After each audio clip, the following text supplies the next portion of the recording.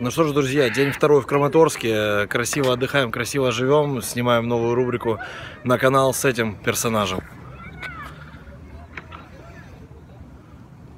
Это сводка, сводка, сводка новостей.